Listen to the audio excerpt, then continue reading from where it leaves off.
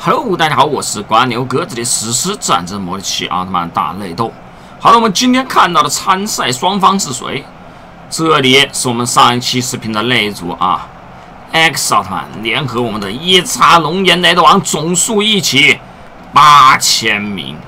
对战双方是谁？挑战方是我们的暗耀欧布奥特曼，三千名。大家觉得哪一方能取得最后的胜利呢？八千 vs 三千，我们直接提高到中间线啊！大家觉得 X 奥特曼联合怪兽一叉龙炎雷德王战斗力标杆能获胜的？评论区预测打一百一。觉得我们这个暗耀欧布奥特曼挑战方三千名能获胜的？评论区预测打一波二。那么话不多说，直接开战，走你！来，我们看一下中间线的那个偏向啊，中间线的偏向性果然是暗耀欧布这一边啊。瓜牛哥玩这个游戏还是比较熟悉的啊，大概的战斗力要求标准我们还是知道的啊，所以我刻意把暗耀欧布这边的数量只加到了三千名，而一叉龙岩雷德王和 X 奥特曼这一边居然有。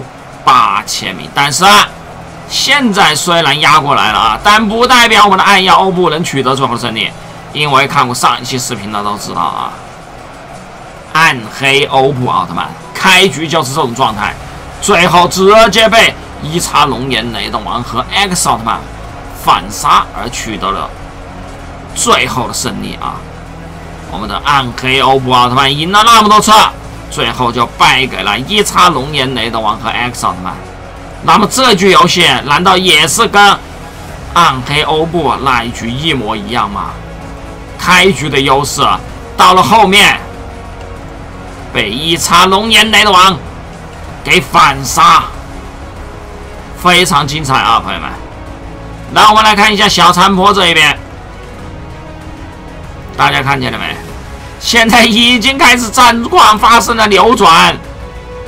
暗耀欧布刚开始那么凶，但是现在感觉一叉龙岩雷德王这边更上一筹啊！来，这局游戏跟上一局一样啊，很多都喜欢发呆啊，很多都喜欢发呆。来，看见了没？看见了没？小山坡这边一叉龙岩雷德王他们取得了反败为胜啊！然后市区这边也是一样，全部反败为胜了，朋友们，大家也看才看到了啊，开局那个暗耀欧布是多么的厉害，但是到了最后啊，反败为胜了，朋友们就是这么强，一叉龙岩雷德王不愧是我们的战斗力标杆，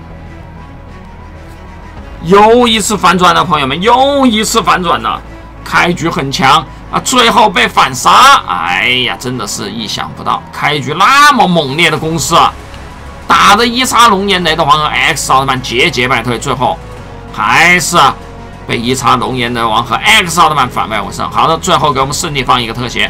这一次选一的朋友们，对了啊，一叉龙岩雷德王和我们的 X 奥特曼最后又取得了这一场比赛的胜利，你猜对了吗？